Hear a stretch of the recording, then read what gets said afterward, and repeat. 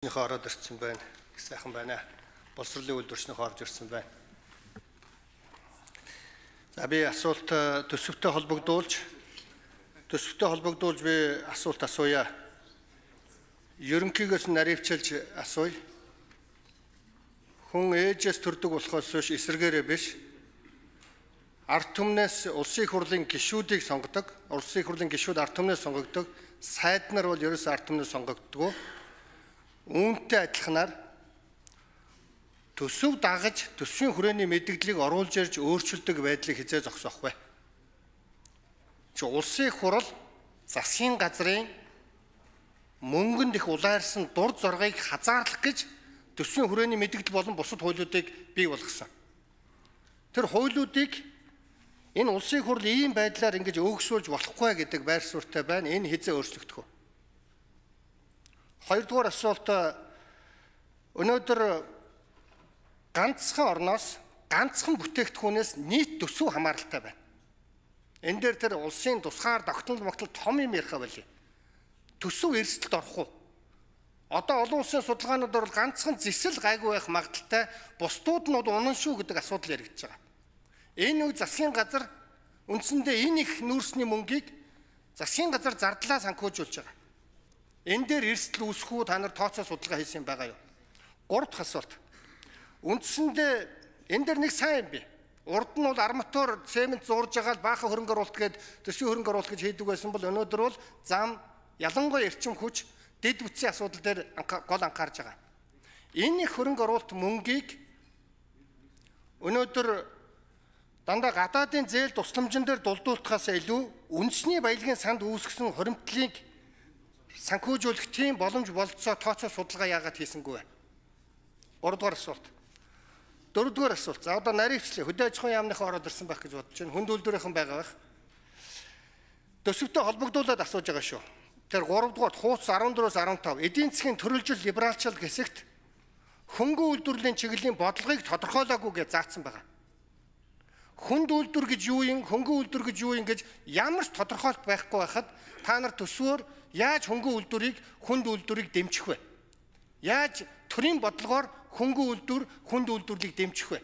Асуулт бол энэ тодорхойлт байгаа юу гэж байгаа та нарын хариулт бол байхгүй гэж. Энийг дагалт хуулиудаар оруулж ирэх боломж байгаа юу? Хизээ энэ орж ирэх юм бэ? Монгол төр хөнгөн үйлдвэрийн хүнд үйлдвэрийн ямар ч хууль бодлогын баримт бичиггүй өнөөдөр хүртэл явна гэдэг бол та нар ажлын байран дээр үгүй гэж хэлж байгаатай адилхан үйлдвэрлэлийг ам болгон дээр хууц болгон дээр ажлын байр үйлдвэрлэл гэж ярьж байгаа. Яг эннийхээ эсрэг байна. Энэ дээр та нар хариулт өгөөч хизээвэ. Дараагийн асуулт их чухал зүйл аж үйлдвэрлэлтийн байнгын ороогоор орж ирэх үед асуухад бэлэн байгаарай гэж асууж байгаа. Аж үйлдвэрлэлтийн сэргэлтийн зорилгын хүрээнд 100% томд хөрөмжийг импортын татварыг 100% тэглэнэ гэж байгаа. Хизээ. Хизээ орж ирэх үү? Оросын холбооны улс болон чөлөөт худалдааны төр хилцээрийг Солонгос улстай хятад улстай хилцээг эхлүүлнэ гэж байгаа. Яг хизээ. Энэ одоо ингээл бухын доотхыг харж өнөг турж өгнө гэж ямар олон жил ярьд юм бэ? Өнөөдөр малын гаралтай төвхөн эдийг бүтээгдэхүүнийг экспортыг нэмэгдүүлэх боломжийг бүрдүүлнэ гэж хизээ. Яг ямар механизм аа? Энийг хариуцсан яамдууд нь энэ дээр хариулт өгөх боломж байна.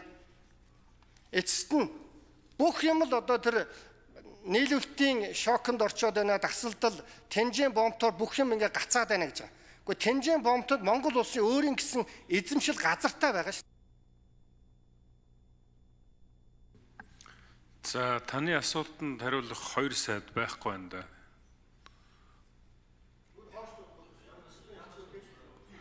За эхний ээлжинд жавхлан сайд хариулж тэр тэр хооронд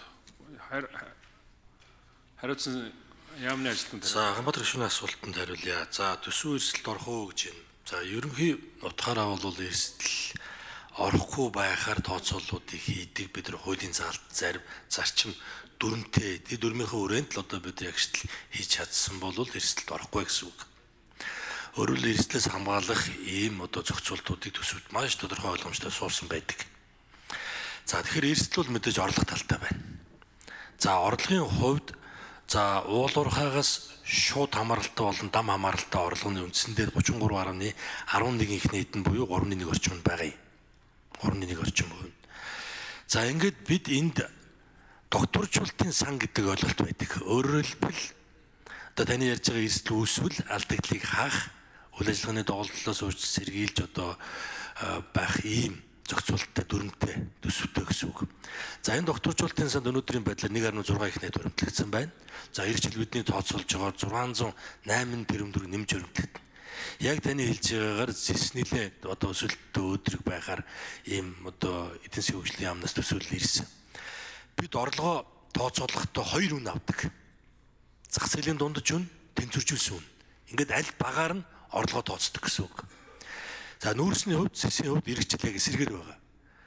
Тэнцвэржүүлсэн үн одоо зэсэн дээр 7500 зах зээлийн үн 100,000 доллар. Өөрөөр хэлбэл бид тэнцвэржүүлсэн орлогоо 7500-аар тооцсон гэсэн үг. Зах зээлийн өнөөдрийн үн 100000-аас 7500 хүртэл унахад унахад шүд 25%-аар унахад бид одоо засгийн газрынхаа энэ үйл ажиллагаа төсвийн одоо бүх зардал үйл ажиллагааг бүрэн санхүүжүүл ямар нэг эрсдэлгүйгээр ингэж тооцсон. За юуны хувьд нүүрсний хувьд бол эсэргээрээ байгаа. Зах зээлийн үн 105 доллар жигнэсэн дунд чинь. А тэнцвэржүүлсэн үн нь бол 129 доллар байгаа. За 129 доллароос одоо давх үнэтэй коксчсон төрлийн нөрсүүд ч байна. За тэндээс бид нэг 80 тэрбум төгрөгийн нэмэлт орлого болоод докторжуулалтын санда оруулна гэсэн үг. За докторжуулалтын сан хизээ бид нар ашигладаг вэ гэхээр одоо гол түүхэн идүүдийн үн буюу одоо бид нэрс хоёр гол түүхэн ид байдаг. А гурван түүхэн ид байгаа зис нүүрс алт гээд. За эдгээр одоо түүхэн идүүдийн үн нь болон бие хэмжээ нь төлөвснөөс 20%-аар унуул докторжуулалтын сангаа ашиглана. За дээрэс нь төсвийн алдагдал өнөөдөр 2% гэж байна. Бид нар төсвөлж байна. А хэрв 4%-аас давбал докторжуулалтын санг ашиглана гэсэн бид нар ийм хуулийн залтуудтай. Тэгэхээр энэ дээр бид одоо төсвийн төрмөө яг баримталж одоо ингэж төсвөө бид төлөвлөж оруулж ирж байгаа учраас төсвөд ямар нэг эрсдэл үүсэж төрийн үйл ажиллагаа доголдох, тасалдах ийм зүйл огт одоо бий болохгүй гэж ингэж харж байгаа.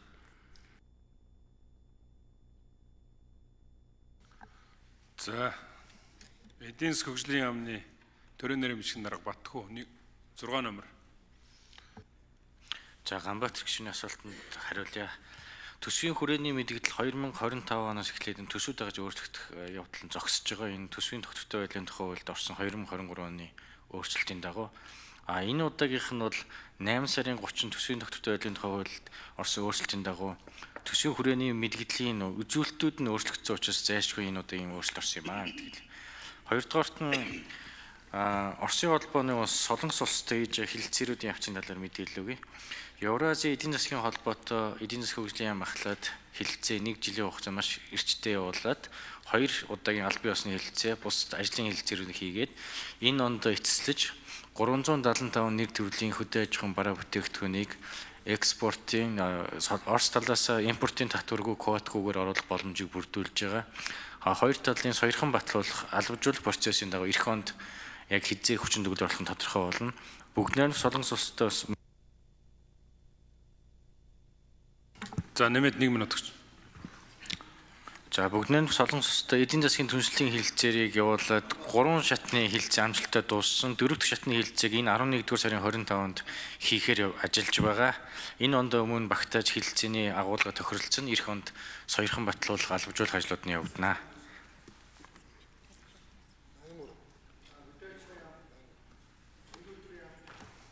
За хүнд үйлдвэрийн яамны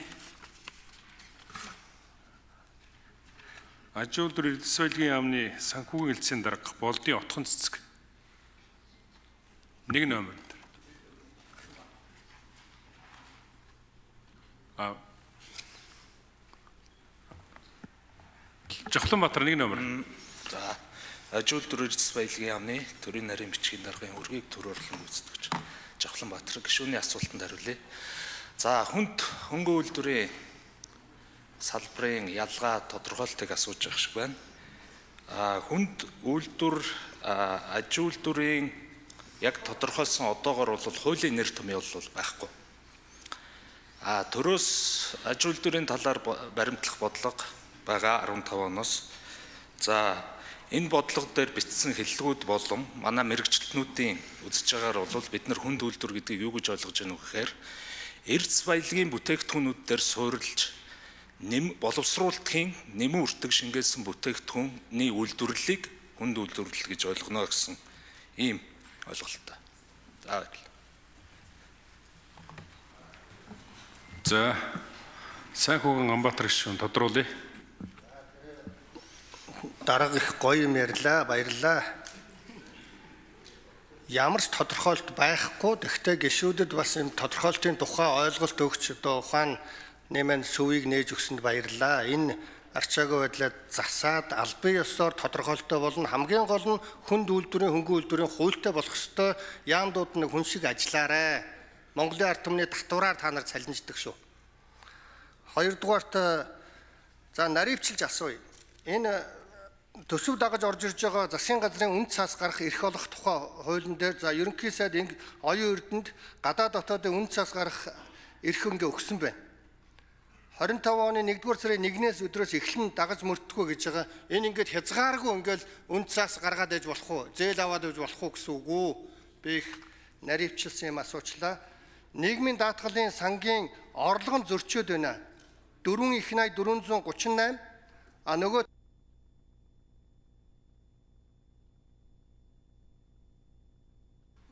За жавхлан сайд хариулъя.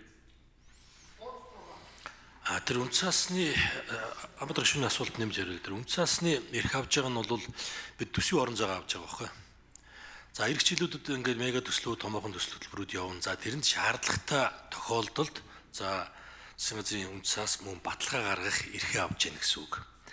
А харин ямар төсөлд ямар хэмжээний баталгаа гаргах уу, үнцаас гаргах уу гэдгийг эцэст нь энэ шийднэ тухайлан төсөлбөрөөр нэнд оруулж ирж их хурл дээр шийдэг ийм зарчмаар явна гэсэн.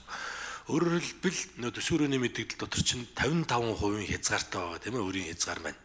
А бидний гүйцэтгэл бол 42.6 гэж ингэж зорж орж байгаа. Тэгэхээр энэ одоо саяны эрх авж байгаа энэ бүх юмнуудыг тооцоогоод тооцоолоод багтаагаад хэмжихэр 42.6 юм баг шүү. Бүр нэрлсэн үнээр шүү. Өнөөгийн үнснээр биш. Өсгсөн үнээр гэсэн үг. Тэгэхээр энэ одоо нөгөө 42.6 хязгаар дотроо эсэлгүүгээр багтаж орж байгаа гэсэн үг. За би сая тэр нэгэн татгалын хэмжээг зөрөг бий болгосонгүй. Сайд хариулах юм манагаас хариулчих юм. Энэ хооронд би нэг юм одоо Ганбаатар гишүүн асууд асууад байгаа нэг зүйл ба дээ. Өөрөөр эргэжил 83 сая тонн нүүрс гарах юм байна. Тэр нүүрснийхээ үнийг 129 доллар гээд төсөөлсөн юм байна. Тэгээд тэрнийгээ төсөв дээр тавьж Аа тэгээд гítэл өнөөдөр 105 доллар байна. 1 тонн нүрс. Тэгэхээр энэ хоёрын хооронд чи 24 доллар гарчиж байна. Тэрнийгээ одоо 183 сая долларт тонн нүрсэд үржүүлэхдээ чинь 2 тэрбум долларын дуталтыг гарч ирээд байна шүү дээ. Цааш та нүрс унна гэдэг. Тэгээ тэрний чинь 2 тэрбум гэхтэр 7 ихний дөрөвний асуудал гарчна. Гэтэл танаа докторжуулах санд чинь дөнгөж 1.5 хон дээрэс нь эргчил 500 нэмэгдэнэ гэж байна. Тэгээ 2 хон тэрбум. Тэгээ энэ юмнуудаа яаж нөхөх юм бэ гэж одоо Ганбаатар гишүүн асуугаад байна шүү дээ. За энэ дээр болдын жавхлан сайд хариулъя. За асуулт нэмж хариулъя. Би одоо дутуу ойлгуулсан юм уу да. Зах зээлийн үн тэнцвэржүүлсэн үн гэж хоёр ойлголт байдаг. Аль багаар нь бид нар олгоо тооцолдог гэсэн үг.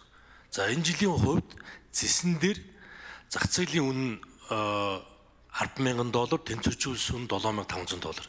Ингээд зэсийнхээ орлогыг 7500-аар авна. А нүүрсэн дээр зах зээлийн үн 105, тэнцвэржүүлсэн үн 129 доллар. Баг нь 105 доллар байгаа учраас бид нар орлогоо баг буюу зах зээлийн үнээр нь авсан гэсэн үг. А 129-с давах одоо хэд хэдэн кокс гурван төрлийн ялангуяа кокс төрлийн байгаа. 129-с давах. А тэр давсан хэмжээгээр бид докторжилтын сандаа хийдгээ гэсэн үг. За тийм учраас бид одоо эрсдэл 105-аас доош нүрсний хувьд за Тэсэн дээр бол 7500-аас доош энэ одоо тэр диапазон дотор ярина гэсэн үг. За тэгээд докторжуулалтын сан бол өөрө хязгаар нь аль аль дээр одоо бит хэмжээгээрч тэр үний хувьд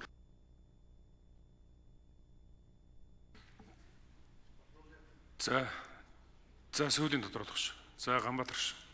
Тэ. За хангалтгүй хариулж байгаа зүгээр банкны хорон дээр дэлгэрүүлэх боломж олдох баха.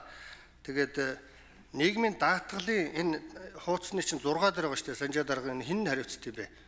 Энэ орлого нь 2 тоо биш үү? 4.4 их 80, 5.4 их 80, 1 их 80 дээр зөрсөн байна. Зүгээр тэрийг тодруулахгүй бол энэ хэрвээ редакцийн алдаа бол хэлэх ёстой шүү. Хоёрдугаар тэр эрүүл мэндийн сайд ороод ирсэн байна. Хөдөөгөр явж хахад эмийн санхүүжилт дандаа хасахтай байна.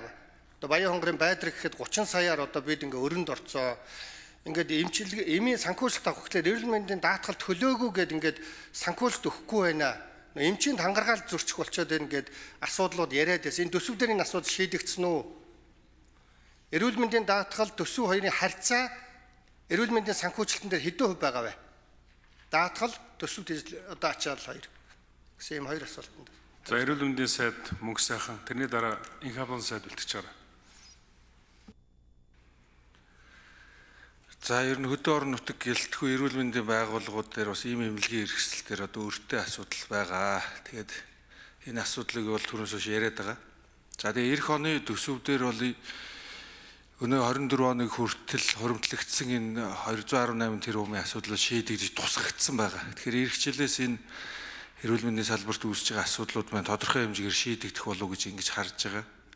За яг төсөвдөр эрүүл мэндийн даатгалын шимтгэлээс орж байгаа орлого, төсвөөс орж байгаа орлого хоёрын харьцаа ер нь 40 60% харьцаатайгаар өнөөдөр байгаа. Даатгал нь даатгал нь 60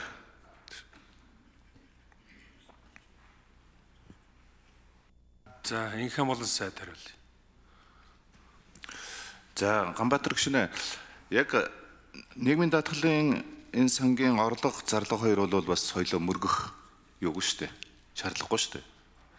Ягаад гэвэл орлого нь 5.6 гэдэг яж зардал нь одоо 4 гэдэг нь бол нөгөө нэг дөрвөн сангийнхаа дагсан дөрвөн сангийнхаа гүйцэтгэлээр л ингээ гарч явдаг л ийм л юутай шүү дээ. Одоо тэгээ цаашдаа бол бид нар мэдээж одоо энэ нийгмийн даатгалын сан чин төсвөөс авч явж байгаа татаас чинь бол жил бүхэн нэмэгдэх юм бодиттой эрсдлүүд үүсчихэд байна. Энэ жил одоо 1.4 их найдын татаас авж байна.